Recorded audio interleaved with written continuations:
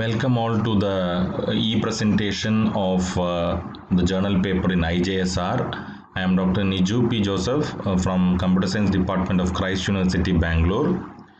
So uh, the paper which is for presentation is shown here and uh, it is managing uncertainty in supply chain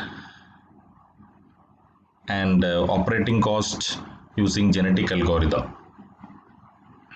So uh, myself, Dr. Niju, uh, is uh, the presenter, and uh, we are going to see different uh, aspects of this paper. So please uh, make sure that this paper helps you when you factor in the uncertainty problems in managing the supply chain cost, supply chain operations. So let me start with the introduction. Supply chain uncertainty is it, different forms of uncertainties are there like supply uncertainty, production uncertainty, demand uncertainty. What is the meaning of uncertainty? It refers to measuring the degree of differences between the models and uh, the respective real system values. Uncertainties can be caused by errors, exception, incompleteness. There are different possible values. Uh, and uh, when we come to the supply chain operating cost, it uh, is determined by different types of um, uh, uncertainties. So we will see uh, one by one what are the different uh, uncertainties that are affecting the supply chain and the operating cost. Uncertainty can be measured by the frequency of its um, occurrence and analyzing the relative contribution and resulting effectiveness on the delivery performance. To ensure that supply chain is operating as, as efficient as possible and generating the highest level of customer satisfaction at the lowest cost, we are introducing the concept called as supply chain management process. So supply chain uh, tends to increase the complexity and involvement of numerous suppliers, service providers, and end consumers.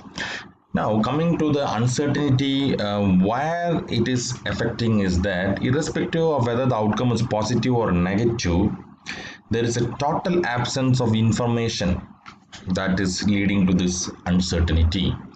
Uncertainty affects of uncertainty and measures for uncertainty when we talk about it can be measured by the frequency of its occurrence and uh, further dealing with that there are different types of uh, methods that can be uh, used for solving this uncertainty problem. So one of the uh, standard methods is using genetic algorithm. In building a genetic algorithm methodology and to solve the supply chain sourcing problem six fundamental issues are represented. That is first one is the chromosome representation. Second one is the initialization of population third one is the selection strategy fourth one genetic operators fifth one termination criteria and then uh, the evaluation measures.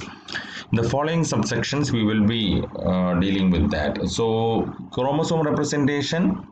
In the chromosome representation the chromosome is uh, determined uh, by the problem as well as how many genetic operators we are going to use so what we are going to do is we have to create a chromosome of uncertainty factors and then we form a chromosome. So how to initialize the population? The initial uh, population is based on the upper and lower bound of each of the decision variables that we have identified. These decision variables are uncertain uh, variables. And so coming to the selection strategy, uh, the selection strategy is based upon you know, the selection of parents to produce successive generation. The goal is to give more chance to the fittest individuals and for each selection theme possibilities are assigned to the individuals. Normalized individuals are first ranked from best to worst according to their fitness value. Then each individual is assigned a probability based on the rank from a truncated geometric distribution. So we are going to employ genetic operators. What are the genetic operators that can be done? Reproduction carried out by application of genetic operators. Four mutation, operators are under study boundary uniform no uniform and multi no uniform and three crossover operators simple arithmetic and heuristics are used mm, based on the representation continuous variables are using mm, uh, this and it is referred in the uh, study of literature. Termination criteria GA is determined after a specific number of generations. So how we are going to do the evaluation measures?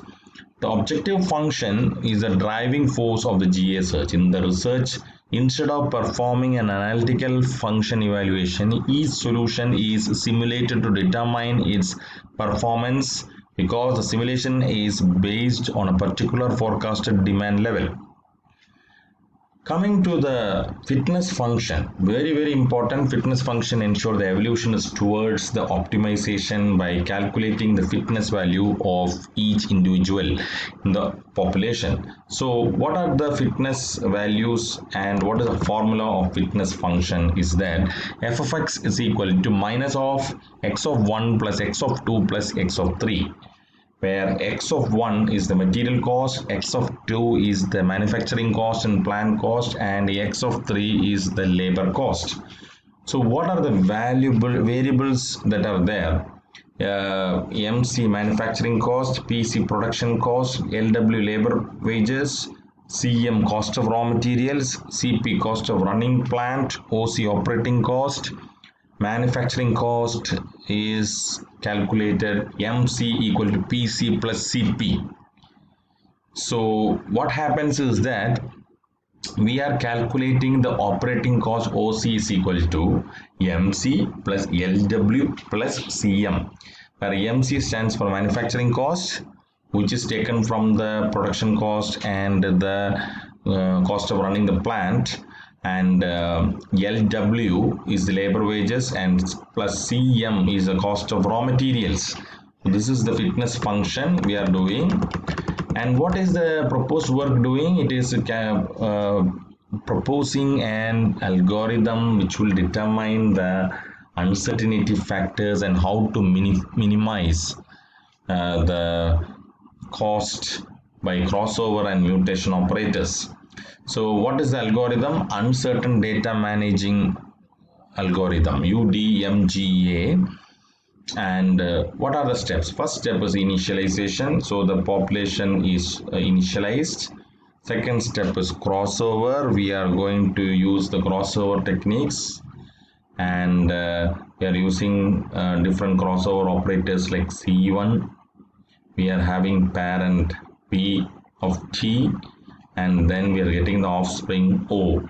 Then we are using the step 3 is local search for each offspring generated. Proposed local search scheme is used to generate an improved offspring. Step 4 is mutation. The, uh, parents are selected for mutation and with probability m and p and what are the mutation uh, properties allowed uh, boundary uniform no uniform multi no uniform etc Fifth step is select the best individual and sixth step is termination. So let us discuss the results. UDM algorithm is applied to an inventory control system. Uncertainty regarding production cost, operating costs will affect the margins of any business. So in a production system, there are various factors.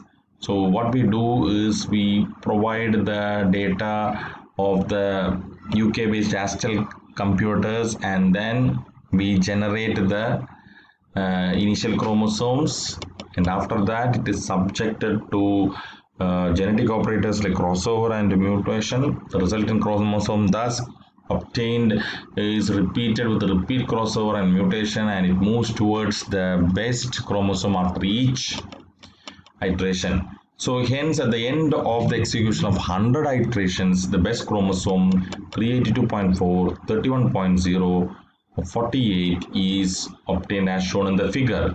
So here what we do is that we apply the genetic algorithm with past records. It can be decided that controlling this chromosome is sufficient to reduce the total operating cost due to the fluctuation or reduction or of labor or um, machine cost.